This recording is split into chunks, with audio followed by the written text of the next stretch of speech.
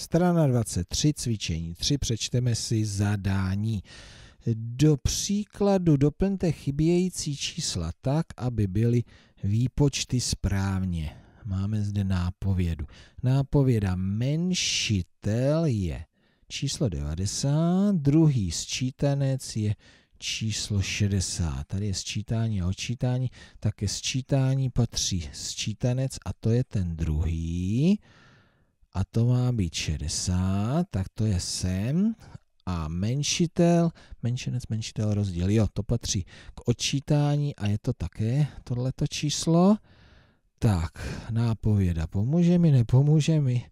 No v každém případě mi pomůže k úvaze, že já tady mezi těmi čtyřmi čísly musím najít dvě, která se liší o 60 a dvě, která se liší o 90. Hele, tadyhle něco vidím.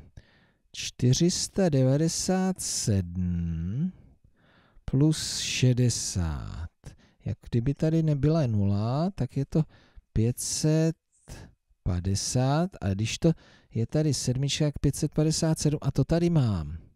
No a teďka, jestli tahle dvě čísla souhlasí. Minus, tohle číslo minus 10, 90. Takže tady musí být větší číslo. Takže 532, kdyby tady bylo jenom 530, minus 30 minus 60 je 440 a je tady 532 minus 90, tak to bude 442. Řešení. Jo. Mám to dobře? No a tady je ještě něco, no a to zkuste už sami.